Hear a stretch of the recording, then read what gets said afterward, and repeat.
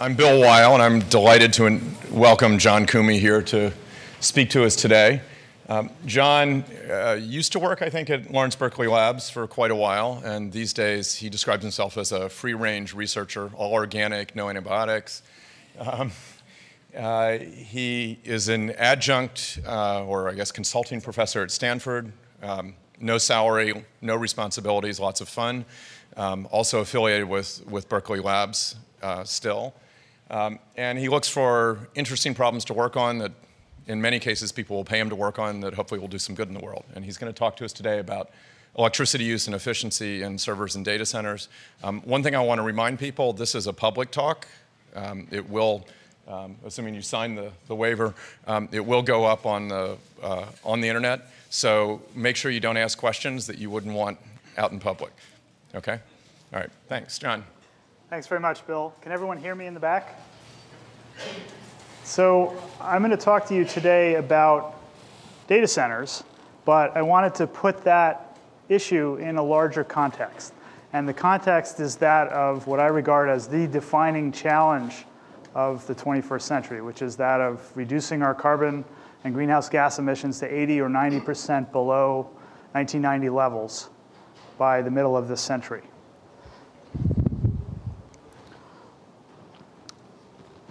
Hey, let's, there we go.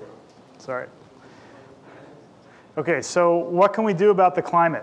We know that we have to make these substantial reductions.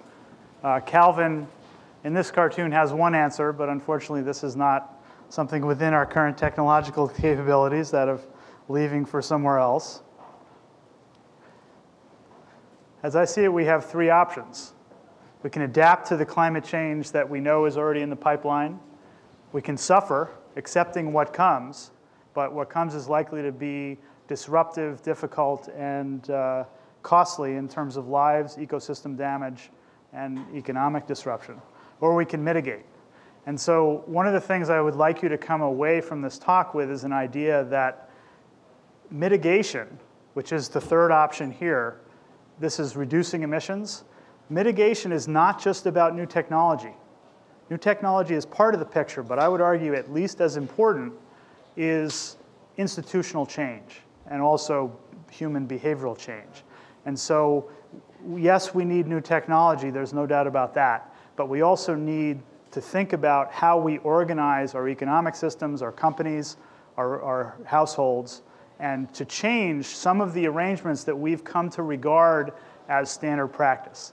And what we've seen historically is that when there's a big crisis, those institutional arrangements are changed. People do actually make those changes, and those changes can happen much more rapidly than new technology in many cases can be widely used. And so that's kind of the big picture to all this. Now, I want to use the data center area as a way to frame that discussion and give you some very specific examples of the kinds of institutional problems that get in the way of increased efficiency, that get in the way of reduced emissions, and then talk a bit about how information technology and the kinds of work that you folks do here can help facilitate the institutional changes that I'm talking about. So, the name of the game, of course, in solving this problem is innovation. And I mean innovation not just in technology, as I said, but also individual behavior and attitudes, purchasing of goods and services, purchasing of energy using equipment, and the way we operate energy using equipment. I'm not going to talk much about that in this talk, but obviously, households and, and your purchasing behavior has a huge impact on residential uh, emissions. Uh, there's, of course, technological innovation, and then there's institutional innovation. In each of these cases, information technology and network externalities are our most important allies. And if we play our cards right and use information technology in a way that it is most effective uh, to do, uh, we will be able to more rapidly change the institutions that we need to uh, that we need to to get to where we need to be. So, on the technology side, I'll talk about this briefly. The main concept I'd like you to come away with on technological innovation is that of whole systems, clean slate redesign. This is a concept that uh, Amory Lovins, in particular, has become well known for. And the idea is figure out the task that humans want to accomplish and start from scratch. Don't assume that you have to continue to build things in the way that you always have, because last time you looked at this, technology was a lot different than it is now. And so clean slate redesign can help you realize immense leaps in the way technology interacts with human beings. So one example is that of the iPhone here. Uh, this was a case where people actually looked carefully at what people actually wanted to do in, in terms of a phone, and they made something that people really want because it does what it, what it needs to do in a very effective way. Another example is that of the Toyota Prius. The basic concept is you want to build technology that's better all the way around so that people want it for more than just efficiency. So the Prius is a, is a great example. This is a very efficient car, but it also is technologically advanced. It's comfortable, it holds five people, it accelerates reasonably well, it has Bluetooth, it has voice recognition. This is a car that was done well. And that's the kind of game changing innovation we need more of in order to get to where we need to be on emissions. So, on the institutional side, there are a number of different ways that you can implement this whole system redesign concept. Back in the, in the early part of the information technology revolution, say early 80s, uh, personal computers had just come into widespread use, and the economists were wondering well, where's the productivity gain that we would expect from all this uh, investment in computers? And it took until the mid to late 1990s before those productivity gains started to become manifest in the statistics. Why did that happen? Because at first, people put PCs in the old institutions. They didn't change anything about the institution, they just put PCs on people's desks. And that doesn't lead to game changing innovation. What leads to that, uh, this kind of innovation is when you redesign the institution to use the, the attributes of the new technology more effectively. And we saw this also when electric motors were introduced in the late 1800s. The same sort of thing happened. People designing factories had originally been using water wheels and some steam engines and some other more difficult to use uh, technologies for power.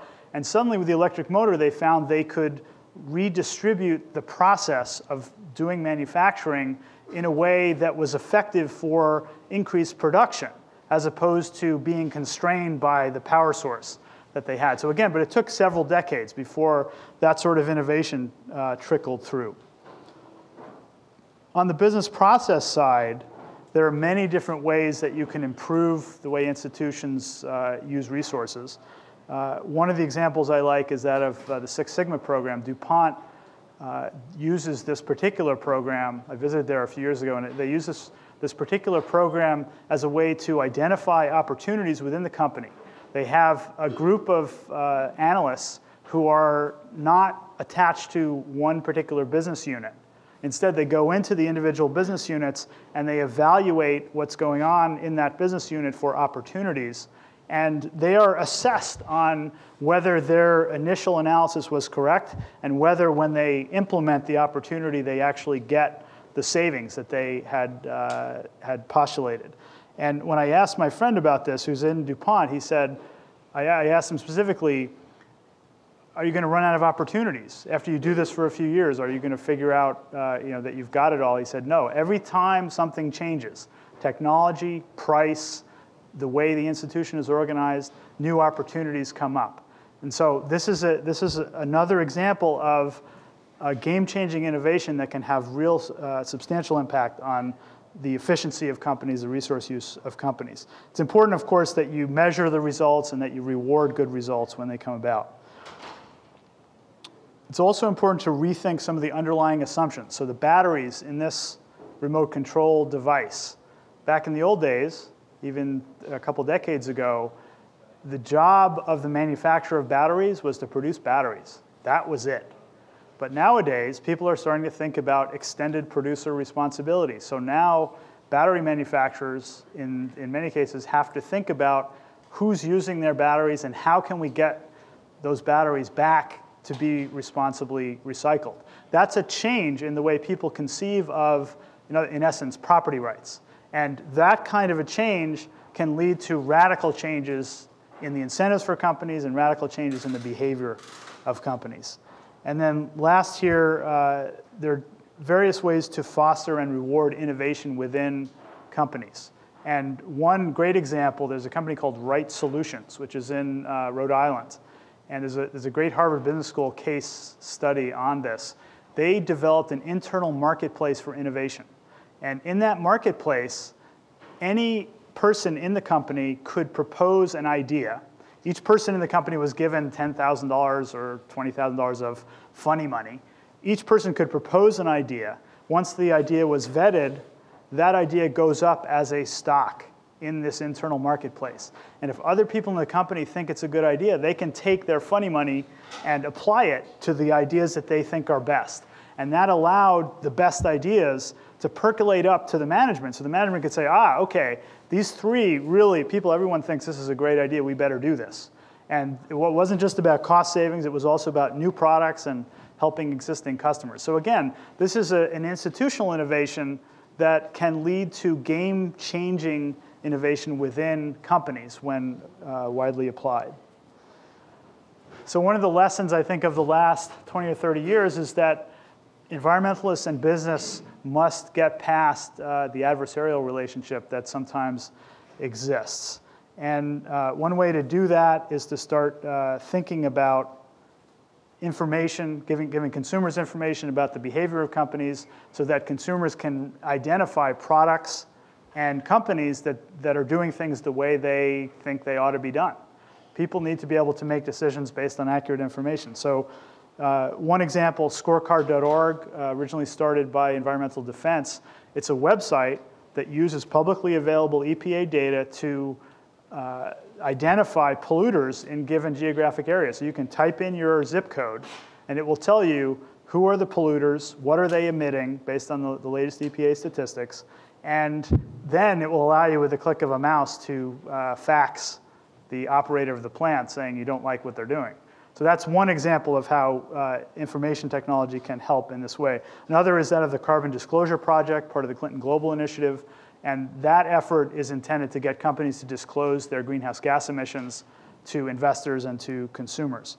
There's also information about uh, products that's important to release. So Energy Star is one familiar example where the best products in terms of environmental performance and energy use and cost are identified with a single label so that consumers don't have to go through the process of doing the analysis themselves it's important to create both internal and external pressure for continuous improvement and reorganization. And that internal pressure comes from the desire for cost savings within the firm. The external pressure might come from consumers saying, we want this kind of behavior and not this other kind. Another important lesson is that the supply chain is critical.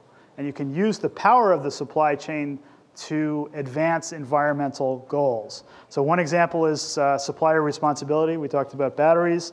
Another is to use purchasing power to move the market. So as a thought experiment, what if Walmart were to say, we're only going to sell Energy Star labeled appliances from now on?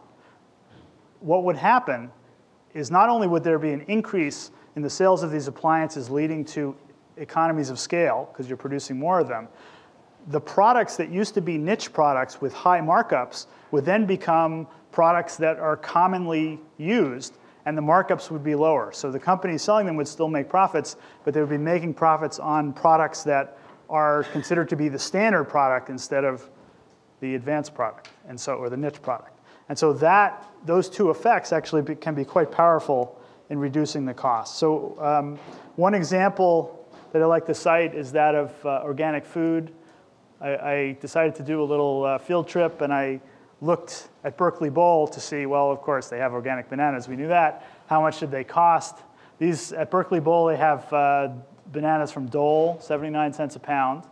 So Dole, clearly a large company, has moved into this area.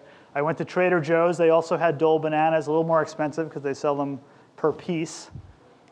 And then I went to Safeway. They also had organic bananas, same price as Berkeley Bowl, uh, these were Bonita. But the point is that large companies had decided that organic was something that they wanted to go into, and this is true for other products as well. Now, one of the issues that comes up is what does organic mean? Right? This is always labeling is a really critical thing.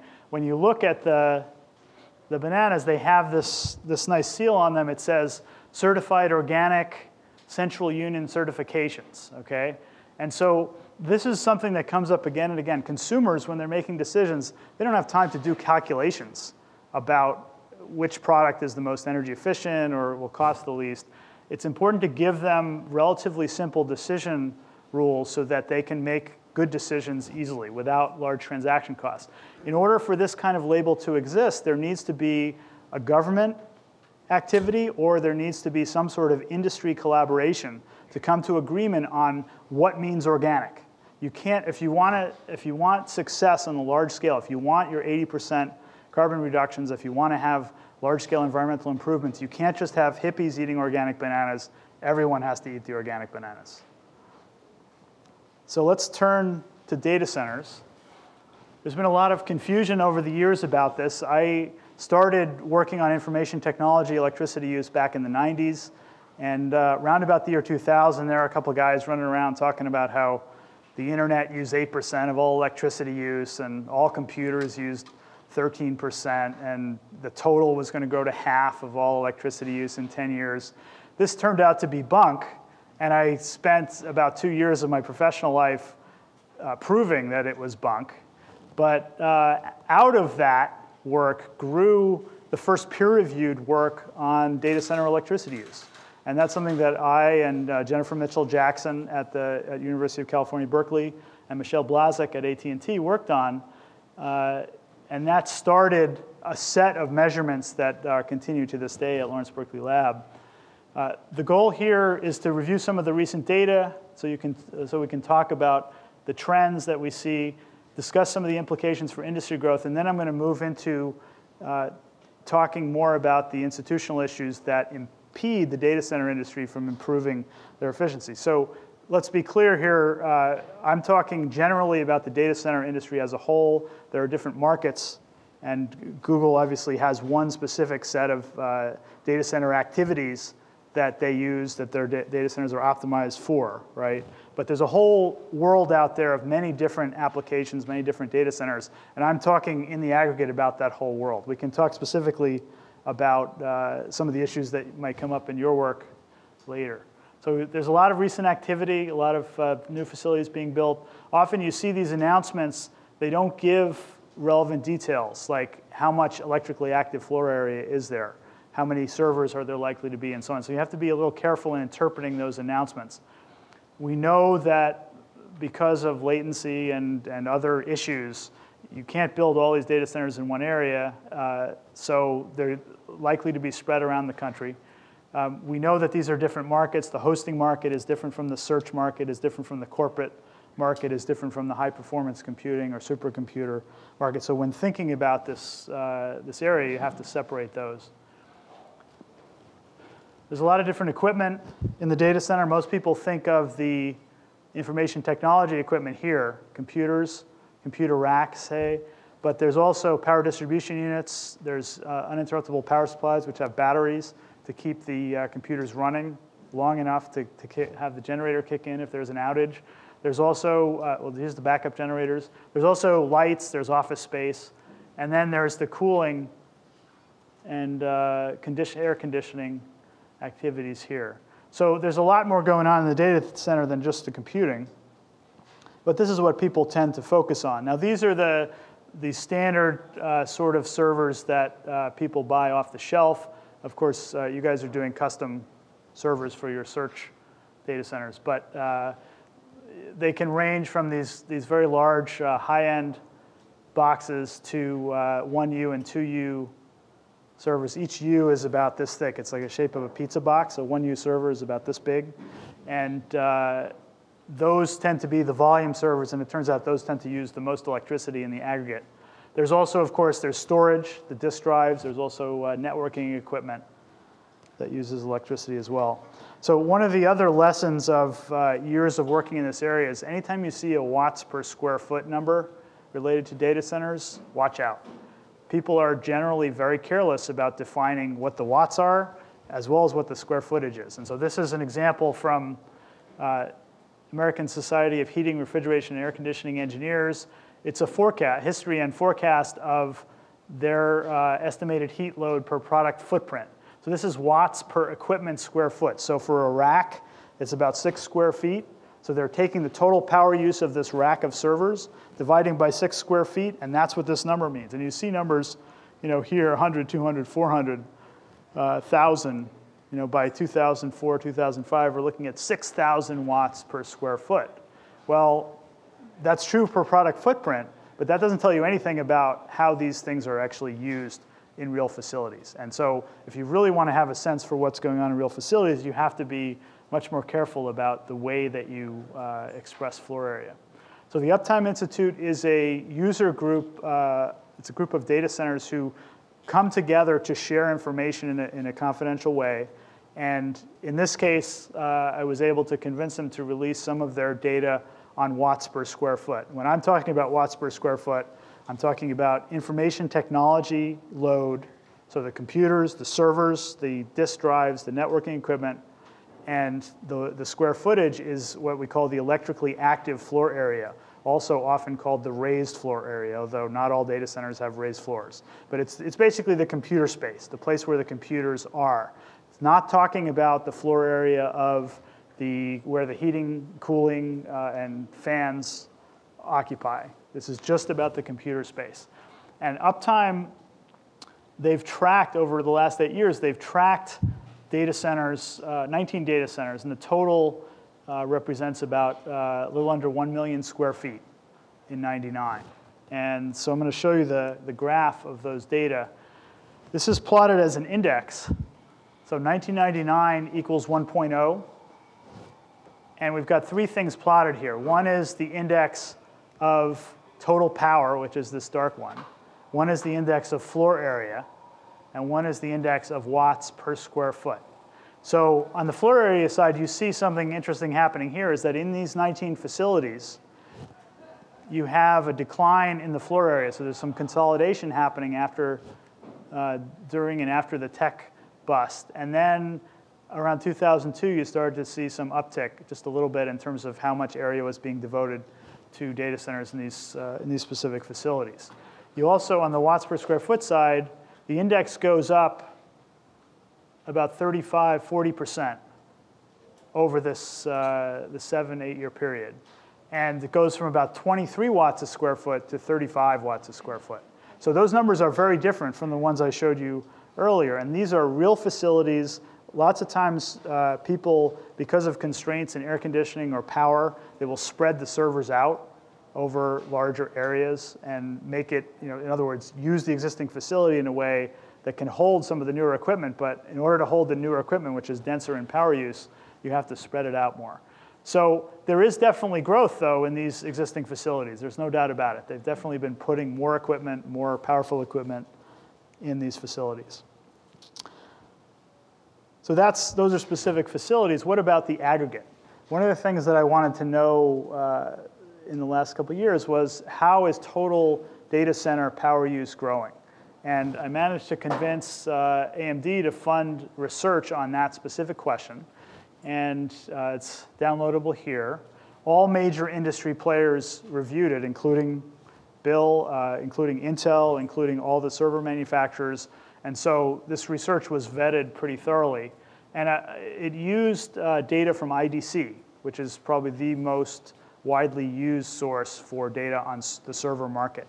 And uh, fortunately, AMD paid the, uh, the cost using their own contract for uh, the data from, from IDC. The goal was to estimate historical data. So we looked at year 2000, year 2005.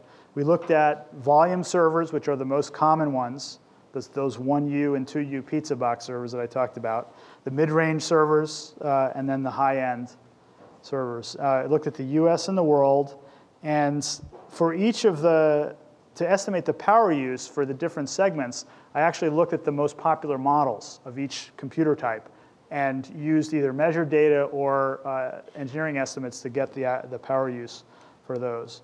And this is the summary of the results. Here we have the US, here we have the world. On this axis is total electricity use in billion kilowatt hours per year. For context, the US electricity use is on the order of 3,500 billion kilowatt hours per year in 2005. And so I've broken it up. This is electricity use. I've broken it up for the year 2000 and 2005 into volume servers, mid-range, high-end servers, and then the cooling and auxiliary equipment. So that's the losses in the power distribution system. So one thing you see immediately is that a big chunk of this electricity use is the cooling and auxiliary equipment. Typically, for every watt of server power, there's another watt devoted to the cooling or associated with losses in the power distribution. Another thing to take from this is that this is the growth here is mainly a story of volume servers. You don't see much change in the absolute amounts here for high-end servers and mid-range servers. So that's, that's also very important. And then in the aggregate, we're seeing over this five-year period about a doubling. So pretty substantial growth. The average annual growth is something on the order of 16% per year. Um, Bill. Um, just looking at this, eyeballing it, it looks like the percentage of high-end, mid-range, high-end and mid-range servers is higher in the rest of the world than the U.S. Is that a fair characterization? Uh, I think, well, that part of that is an optical illusion because this, these bars are higher, but sure. I think that's probably true in the aggregate as well. Interesting. Yeah. Uh, you do see there's definitely a reduction in the number of mid-range servers.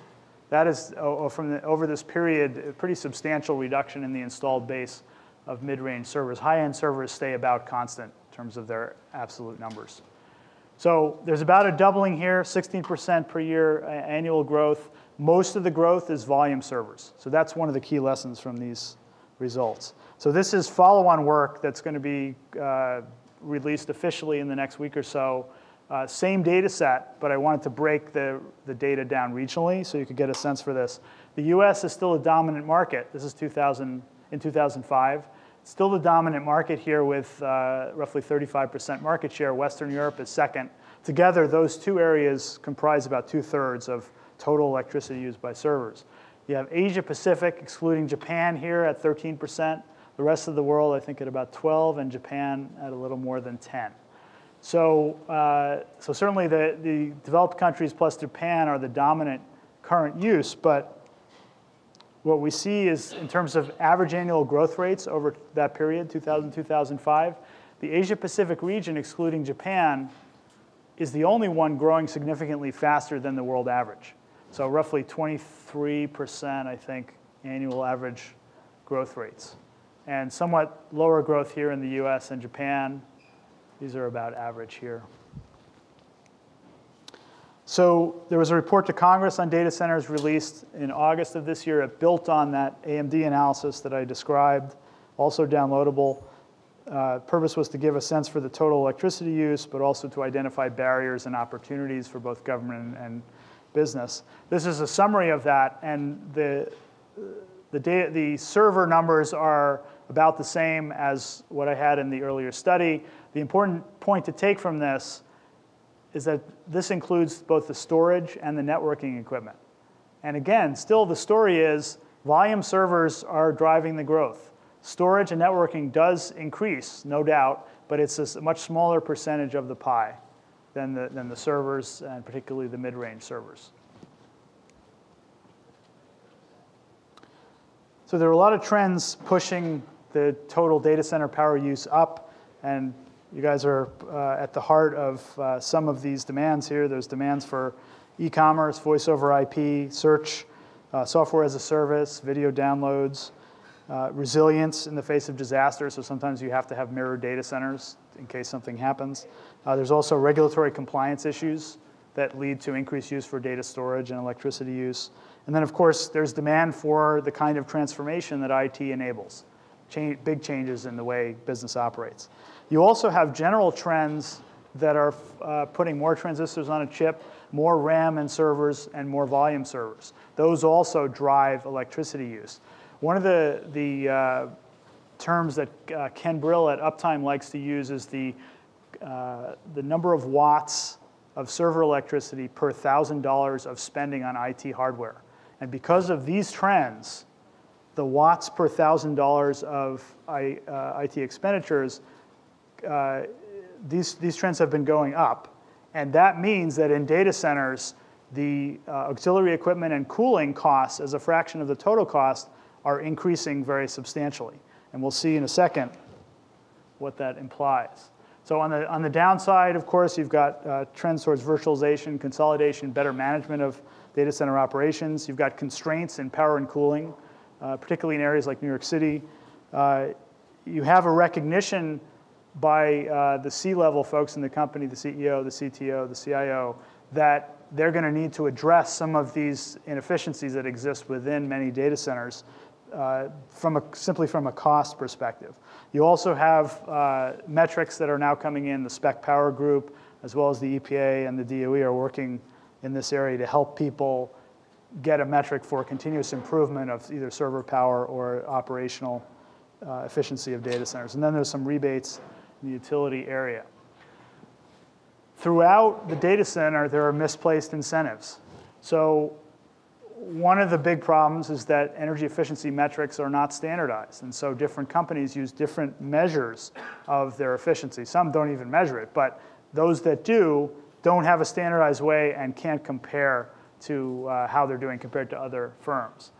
90% of the costs related to cooling and infrastructure are actually kilowatt related, not square foot related. But almost always, either internally or externally, data centers are charged per square foot. So if you want to put in servers into a data center, they'll give you a per square foot cost. This is changing slowly. But again, if you're not paying for the true cost of what your, what your actions are, you're likely to act in a way that's going to be less efficient than, than otherwise.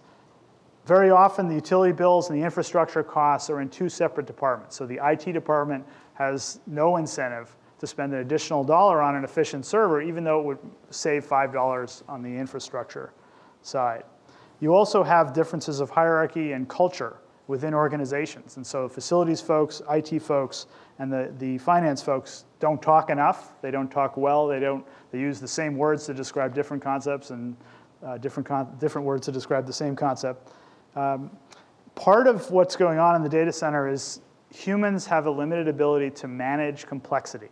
And so what they do in the face of complexity is they establish rules of thumb that provide safety margins so that they're not going to the data center is not going to go down, they're not going to get fired, and so on. So people will often, they'll take the rated power of the computer, which is typically two or three times the actual power use, and then they'll double it when they're sizing the power conditioning equipment or the cooling. And so that, of course, leads to great inefficiencies in the uh, uh, building and operation of these facilities. So in order to understand what's going on in terms of incentives here, I wanted to, to look at the total costs. And I did this model with funding from IBM through Uptime to look at the, uh, the various costs in a, in a data center that's uh, high performance computing for financial applications. So it would be for one of the financial houses in New York who are doing derivatives modeling and analysis of the markets and looked at all the different components of the cost. And for this particular kind of facility, this represents typical industry practice. And this is the end result there. Site infrastructure costs, in other words, the cost of the cooling equipment, the cost of the power conditioning equipment, the cost of the distribution of power, turns out to be about two thirds of the capital cost of the IT. So you think, when you think of a data center, you think of IT, right? You think of computers. But when you're building a data center, something like two thirds of the capital cost is actually associated, and this is on an annualized basis, so it deals with the lifetimes of the equipment. Something like two thirds of the annualized cost is actually site infrastructure. And because the watts per thousand dollars of computing equipment has been going up, that means that this term is continuing to grow. And in some cases, it's already equal to or surpassed the IT costs in a data center. So that's one of the reasons why the C-level is paying attention now it used to be these facilities cost in the tens of millions. Now they cost in the hundreds of millions. And that's a level of expenditure that gets the attention of the CEO because they need to think, well, we're spending $300 million. Is there some way we can do something about that? And because of all these inefficiencies in the way the organization works and the way information flows, there's a lot of uh, opportunities for improving the efficiency. So on the efficiency side, whole system redesign is again the name of the game. making sure the incentives are aligned towards minimizing total cost of ownership is critical. So you have to make sure that within the organization, there's one budget for the data center. And the people making decisions all have to be in the room at the same time, the facilities, the IT, the real estate folks, and the financial folks. Uh, the easy stuff within data centers, you can change some of the infrastructure operations. You can start charging for power, for example. Typically, when, you, when people move data centers, they find 10 to 30% of the servers are sitting there using electricity, not doing anything. People were afraid to turn them off. So again, this comes to the difficulty of managing complexity. If you had a comprehensive inventory of all the servers in your data center, what they're doing, what software they're running, and so on, then you would be able to tell that pretty quickly. But in many data centers, that's not the case. Now, in many of the servers that you see, the high-end stuff, the, the, power supplies are pretty good.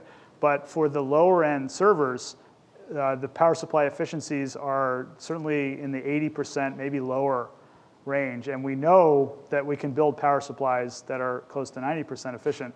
Why doesn't that happen? Because the people designing the servers say, oh no, we're competing on first cost. And we can't spend that additional $20 or $30 on the power supply, even though it'll save 100 bucks on the infrastructure costs. And the trick is, how do you change the incentive so that people are not competing on first cost? Because really, at the end of the day, the customers have to start demanding that they're, they're, we'd love to pay you $30 for the power supply. That's an opportunity for you guys, and they need to, the manufacturers need to get outside that. There's other things related to metrics. Uh, switching over to DC power is a whole uh, another kettle of fish, which has potential benefits and some costs as well. And then there's a whole virtualization area. So I wanted to show you one example. It's not quite whole system redesign because we only did this over the course of uh, maybe six months. I sat down next to Lorie Wigle at the meeting where I also sat next to Bill. It was a DOE meeting in December of 2006, and I said, I, as soon as I learned that Lorie was head of server marketing, I said, here's something you guys could do that could make a real difference. And the idea was take all the efficiency technology, build two racks, build a standard rack that looked like good current practice, and then build another rack. They called it an eco rack because they're good at marketing, right? Uh, and the idea was to put as much efficiency technology as they could into that second rack, have a meter showing the power used by both of them to make it very simple. You mean I could buy this rack instead of this rack? And it would save me this much money? Thank you very much, I'll take this one.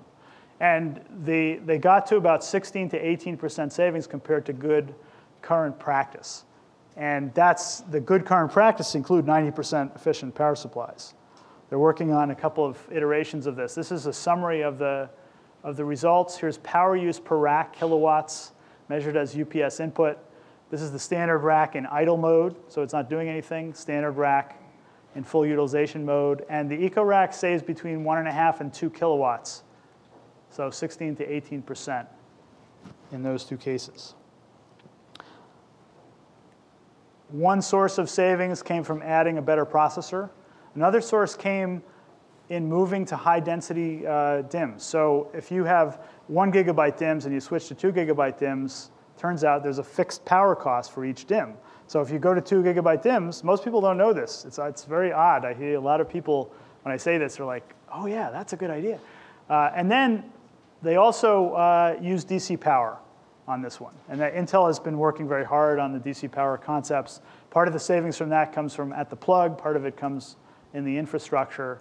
Um, even if you stuck to AC power, of course, there's a lot of opportunities. So let me just summarize, because I think we want to leave enough time for questions here. For servers, the total power use is about 1.2% of US electricity use. So it doesn't sound like much, but it's basically doubled over the last uh, the five-year period, 2000, 2005. If you include storage and networking, gets you up to about 1.5% of electricity use it's likely, you know, if the IDC numbers on installed base for servers holds, you're still going to see some increases over the next five years of between 40 and 76% uh, or so. Within existing facilities, watts per square foot appear to be going up. So people are putting more servers in existing facilities and uh, packing them more densely. Volume servers are the name of the game here. They're driving the growth, and that's where the power use is. Within this area, there are perverse incentives all over the place. And that's exactly where these kind of institutional changes can make a huge difference. Once you align incentives, then people within the company start feeling empowered to uh, reduce total cost of ownership instead of minimizing hassle or keeping the boss happy. And at the end, the name of the game is minimizing total cost of ownership, increasing profits. You want alignment between individuals in the organization and the organization's goals. The need for organizational change in this sector is driven mainly by the fact that infrastructure costs as a fraction of total costs in a data center have been going up very rapidly and will continue as, uh, based on the best current data. We know that uh, met having metrics is really critical. If you can't measure it, you can't manage it.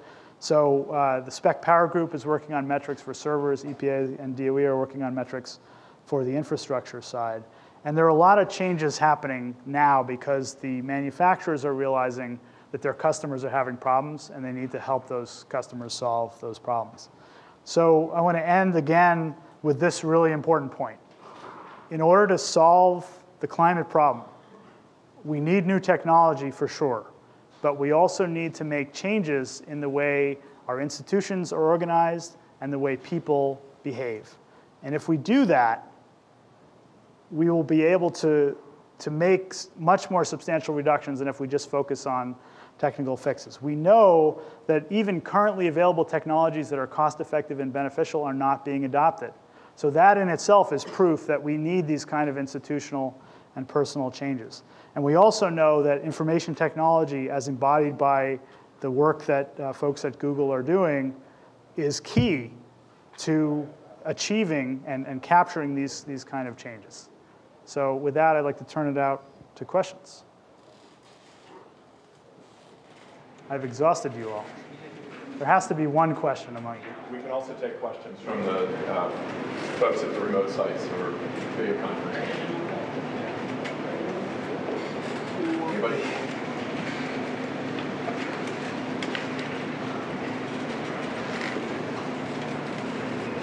Hi, you said that the EcoRack had a savings of about 16 to 18 percent. Yeah. What was the cost to get difference up?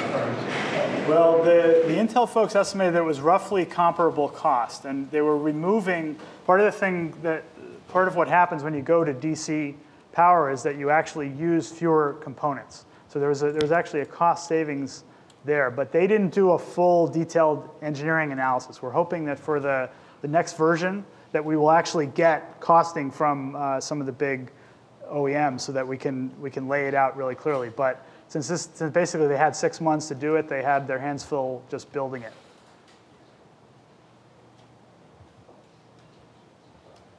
So I'll ask a question. Oh, good. Um, so if if I were the CEO of some random company, which thank God I'm not, thank God for me and for the company, um, You've retired from that sort of activity. um, what would your advice be in terms of key institutional change that the CEO that I should try to push in my company to actually really make a difference around this?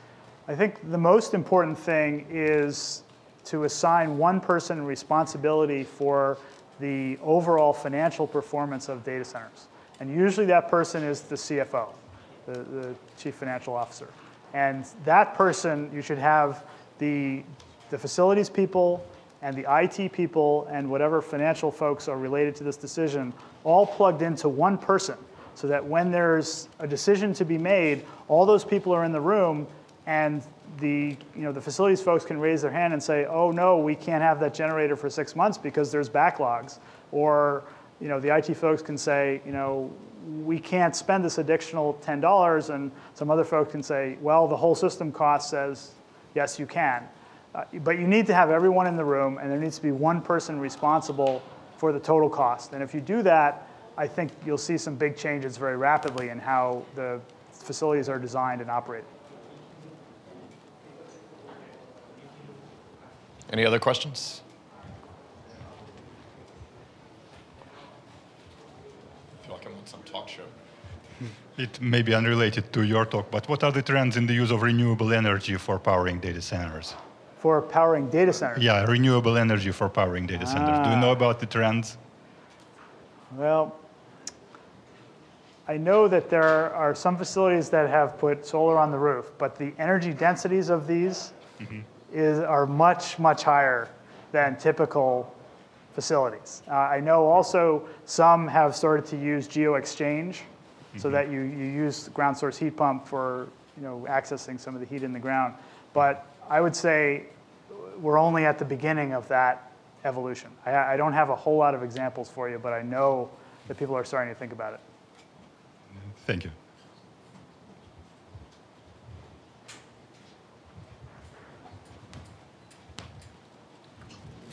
I have a question for Kirkland. Yeah, so you mentioned uh, different uh, power usages at idle versus not idle. Have you seen any research um, with regards to basically shutting off some of the machines on day center and using stuff like that?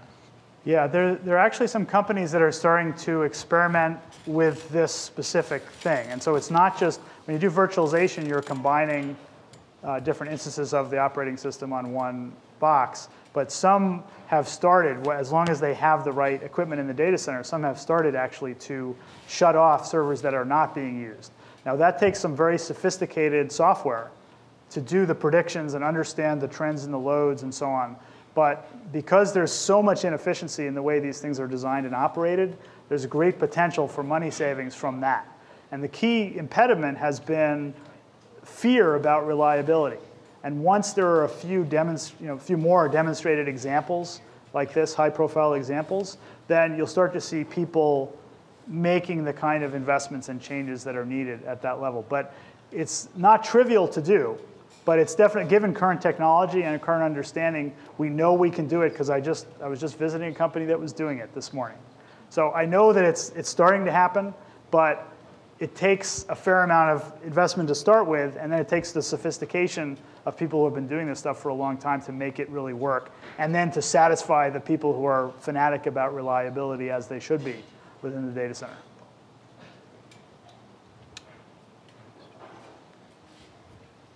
Any other questions?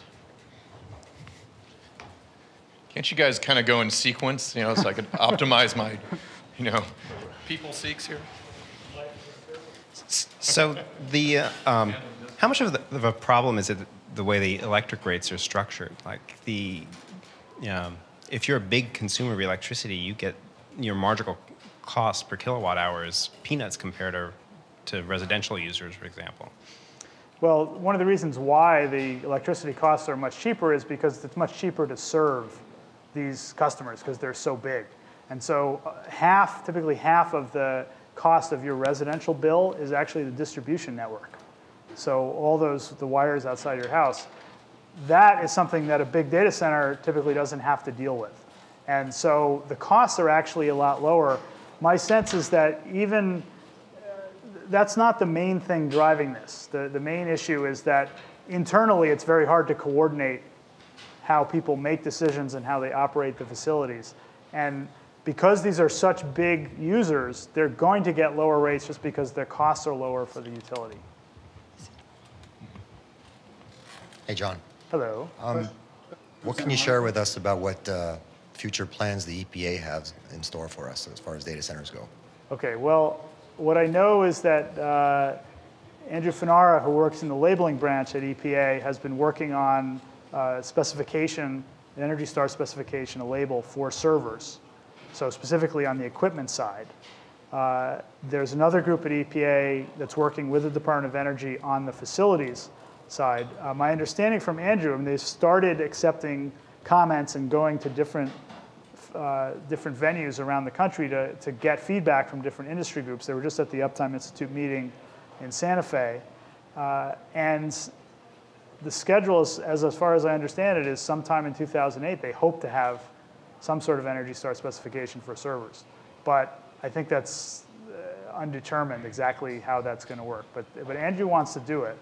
And as long as there's a way to do it that balances the, the needs of industry to have the full choice of servers that they need, and also give the information so that customers can make sensible choices, then I think he's going to go forward. And part of this will be related to the spec power work that's coming out in the next month or so. So there, that, that'll be a basis for measurements of power use of specific servers that the EPA can then use credibly to, to analyze what different uh, efficiency levels could work. On the infrastructure side, I think they're not quite as far along there, so I wouldn't expect anything too soon, but in the next year or two, probably. Anything else? Other questions? All right, thank you very much, John. We Thanks appreciate to it. all of you.